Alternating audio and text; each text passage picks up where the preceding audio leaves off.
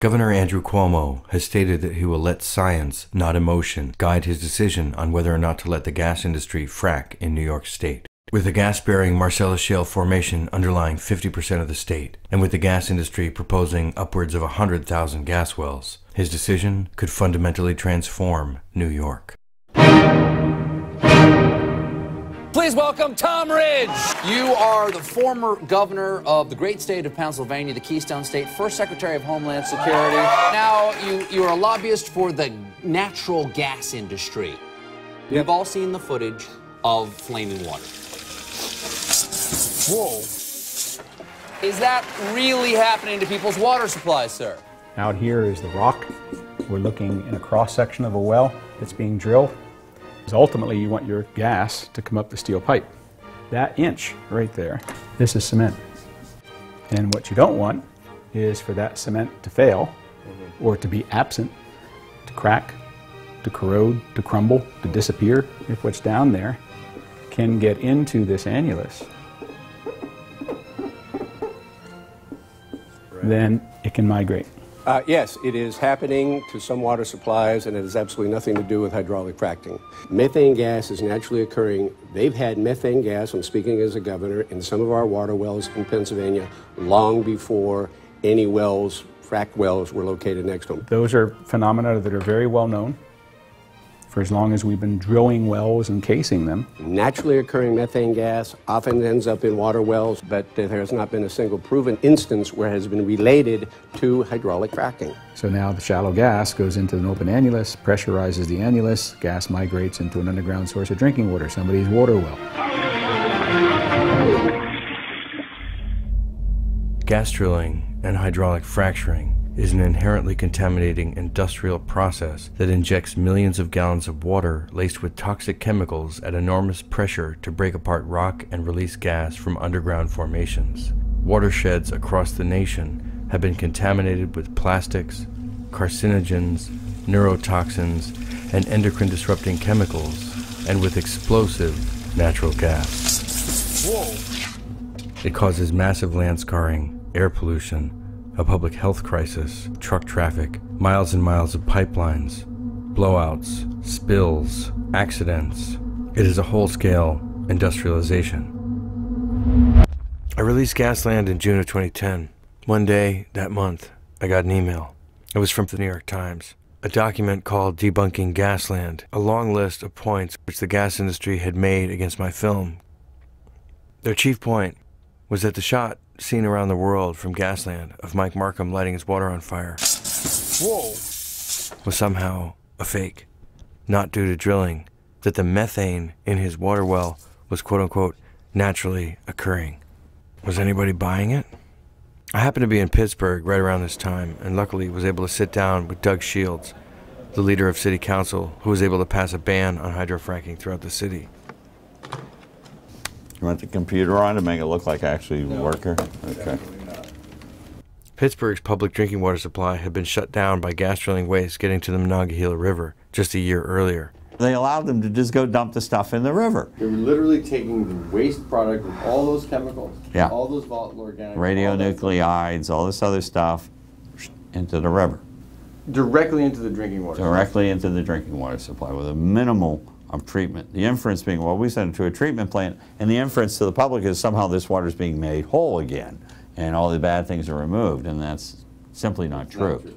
The New York Times put star investigator Ian Urbina on the case. Their investigation uncovered thousands of internal documents showing that radioactive wastewater and harmful carcinogens such as benzene were being inadequately treated and put back into drinking water supplies all over Pennsylvania. But Doug explained to me that this isn't always the way journalism works. You know, they're coming in and telling me the sky is pink all day, that it's pink. So he told me most of the journalism out there isn't investigative journalism. It's what you call he said, she said journalism. So if someone's in the room with the media and the person says the sky is blue, then the media report that day is the sky is blue. But if someone comes in at the last minute and says, no, wait, wait, wait, the sky's actually pink, then the media report that day is going to be the facts are being debated. It isn't blue, it's really pink. And if you leave that on the table and don't rebut that, then the sky's pink. And that is what the oil and gas industry has done. And the sky is pink in Harrisburg. We've seen the movie. We saw tobacco companies sit in front of microphones and perjure themselves in front of the United States Congress, fine, upstanding citizens with money, corporate executives saying, I can't, you know, I, I do not believe tobacco causes cancer. And meanwhile, the memo's back in their drawer that says otherwise. In the 50s, Hill and Knowlton, PR firm, designed the strategy to dispel that nasty little rumor that tobacco caused lung cancer. Misinformation and supporting bogus science that would call into doubt the legitimate science. The American Natural Gas Association hired Hill and Knowlton in 2009 as their PR firm. All of a sudden, ads were everywhere. They even bought my name on Google. Naomi Oreskes, author of the book Merchants of Doubt, traced disinformation campaigns from big tobacco all the way up to climate change. When I opened your book, I saw Hill and Knowlton is the author of this oh. strategy for tobacco, and Hill and Knowlton was hired by the American Natural Gas Association. Oh, so there it is. So 60 years later, right, we have the same PR firm that actually invented. John Hill was the originator of this whole strategy. So there they are, still doing the same thing again 50, 60 years later. Wow. It's wow. it's depressing, isn't it? if we say, you know, oh, yes, oil and gas come out of people's taps naturally you know, a lot of people just don't know. They think, oh, really? Is that true? You know, oh, well, I have heard people, I've had heard people say that in Santa Barbara, the tap water smells bad, you know, so may, maybe it's true. Okay, now we have a debate, right? An ordinary person who doesn't know what to think doesn't need to think that I'm right.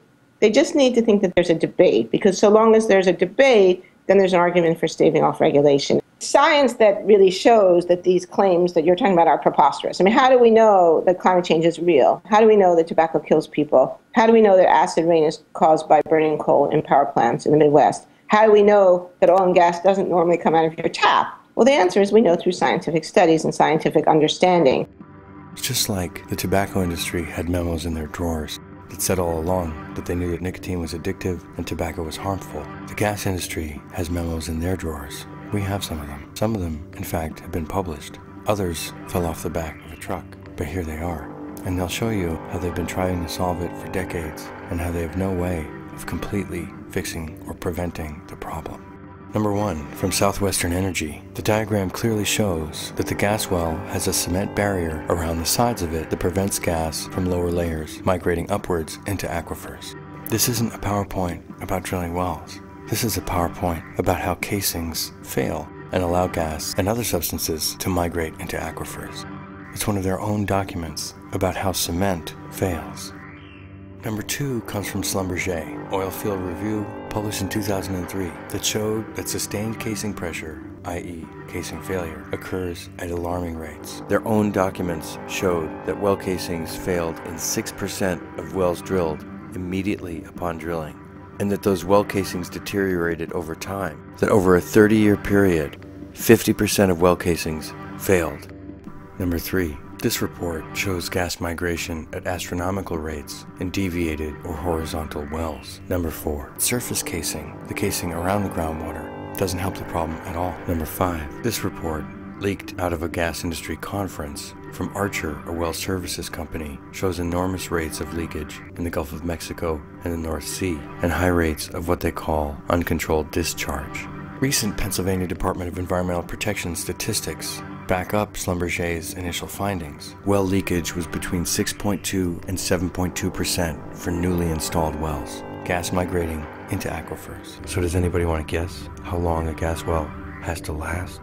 Not to produce gas, but to do its other function of protecting the groundwater from underground sources of chemicals and gas that could migrate. I'll give you a hint. It begins with an F. Forever. These well casings and these gas wells have to last forever, or else they pose an immediate and constant risk to groundwater. So what about Mike Markham? Let's go a little bit further into that. Ball of fire erupts, almost enveloping Markham's head the gas industry is saying that according to Colorado Oil and Gas Conservation Commission, Mike Markham's methane was biogenic or shallow gas. Uh, what's called biogenic methane is naturally occurring biogenic methane. So, because it wasn't the gas they were drilling for, it wasn't their fault. Deeper gas, the gas that they frack for, is for the most part thermogenic. But as it turns out, the whole argument is misleading. Because even though the gas company wasn't drilling for biogenic gas, the drilling process could have caused biogenic gas to leak up into the aquifer. As you see here from this Schlumberger article, pockets of shallow gas can find a way to escape up failed casings into aquifers. The gas industry has seen this as such a problem that they would write and publish a scientific study. So drilling can liberate both kinds of gas, biogenic and thermogenic. But actually, in Gasland, there are many families who can light their water on fire. The very next house was the house of Amy Ellsworth, about a mile from Mike. In fact, you can see her house from Mike's house. Right.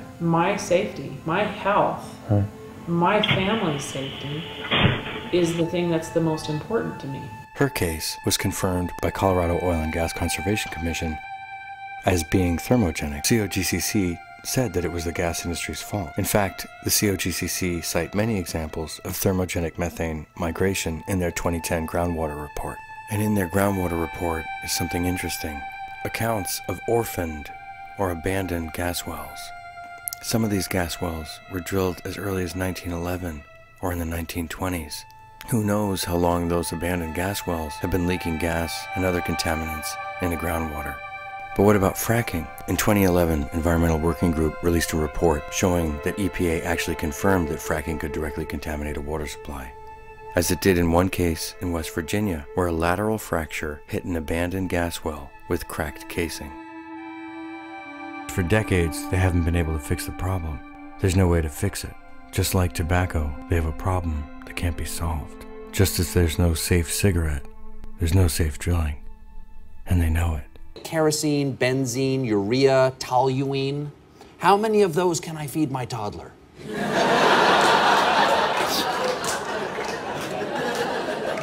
Because it's perfectly safe, right? It's perfectly safe. And how can you separate the science from the emotions? In this case, it is the science that provokes the emotion. It's the science that tells us how to feel. There's one other way that the situations compare. The first major health study on the effects of gas drilling was done in Garfield County, Colorado. Researchers found the potential for acute health problems related to gas drilling activities in the water and in the air. The Colorado School of Public Health found that there was a likelihood of health effects from pollution from gas drilling, and that the magnitude of these health effects was moderate to high. In Texas, as throughout the United States, cancer rates fell, except in one place in the Barnett Shale. The five counties where there was the most drilling saw a rise in breast cancer throughout the counties. The gas industry's response was a pink drilling rig. Maybe they think the sky is actually pink and they're just trying to blend in. You just can't make this stuff up. Hundreds of doctors have signed letters to the New York State Department of Health asking that a full health impact assessment be conducted before New York starts issuing permits. It was time for a trip to Albany. Things that look safe today, you know, aren't so safe tomorrow. Uh, we have an abundance of fresh water here in New York. We have great water supply. We consider that a tremendous asset we don't want to impact that in New York. A motion right now to put forward a health impact assessment before any contemplation of doing this. Do, do you support that? Yeah, having represented uh, the 9/11 area, uh, you know, the World Trade Center, I, I, can say this, even though the, you know, the severity of that tragedy is different than what we're talking about. Uh, you know, at the time, the federal EPA came in and said the air quality was safe. And now people are dying from cancer as a result of saying it was safe. I would rather know the health consequences now before we allow this irreversible damage to our water supply uh, to take place.